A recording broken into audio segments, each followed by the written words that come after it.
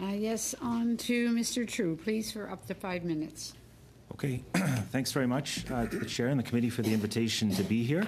Um, to, to be honest, I wasn't exactly sure how to frame um, my presentation on the topic of non-tariff barriers. It seemed to me quite a broad category. I thought maybe, uh, given the high profile of certain food issues around non-tariff barriers, that would be the focus. But you know, from looking at the group you have here, it's more eclectic and more varied than that. So I, I decided to keep it kind of big picture and just mention three things I think it's important to keep in mind in any discussion about um, non-tariff barriers. So um, the first is that what one group, whether say a producer group or maybe a trade economist, for example, what one group considers uh, a non-tariff barrier, other groups might call simply good public policy, right? And I'll give you a few a few examples. Front of package uh, health labeling, for example, on cigarettes, alcohol, or food. Maybe talking about the uh, sugar or fat content, for example, that applied to domestic as well as international companies. Um, you could have labels that have to do with other reasons as well, like halal labeling in Indonesia, for example. Um, that's come up as both a technical barrier to trade and as in, in that country in particular, say a good public policy. You know, another example, California's animal welfare laws expanding minimum cage and pen sizes for captive uh, farm animals and banning the sale of food products, uh, even from out of state that uh, can't meet those standards. There's policies aimed at reducing the use of pesticides, for example, or favoring organics uh, based on environmental considerations or uh, the preferences of a given local, national, or perhaps regional population in the case of the European Union. And maybe public stockholding, and there's tons of other examples, but public stockholding programs in, say, India. Um, that uh, aim to stabilize prices and, and, uh, and compensate struggling farmers.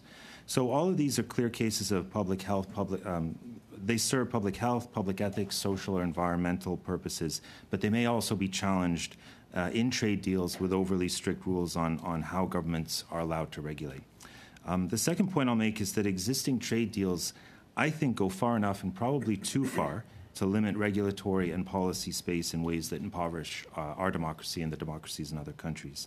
Um, Canada and the US are among the rel- a relatively small group of countries at the WTO who continue to expand disciplines on government regulatory space in their bilateral and uh, regional trade agreements.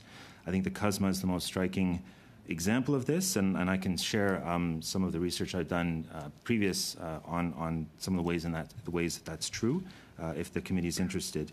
Um, the agreement goes further, for example, than most trade deals um, to kind of privilege the interests of foreign investors and foreign companies in the domestic rulemaking process.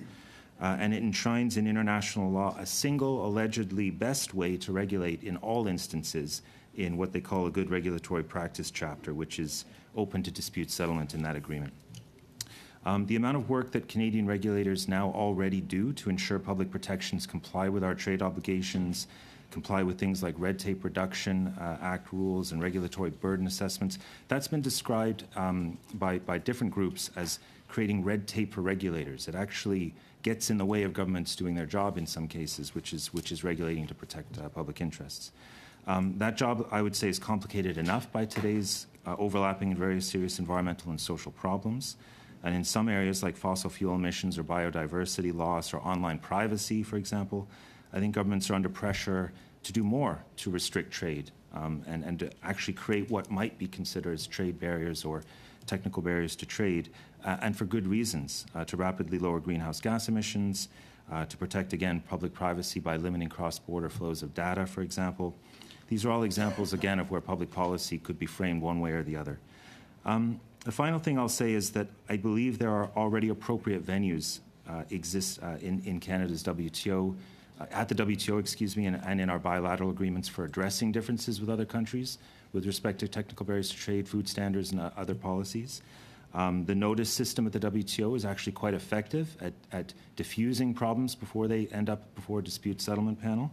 Um, and you know where where where we have bilateral commitments and committees established to look at specific issues, is in CETA, um, it's not obviously what a lot of producers uh, groups would say is a perfect solution, but I would say it's one that strikes a good balance between the democratic obligations of governments to their people and varied interests in how they develop po- policy on the one hand, and the trade interests of limited groups on the other.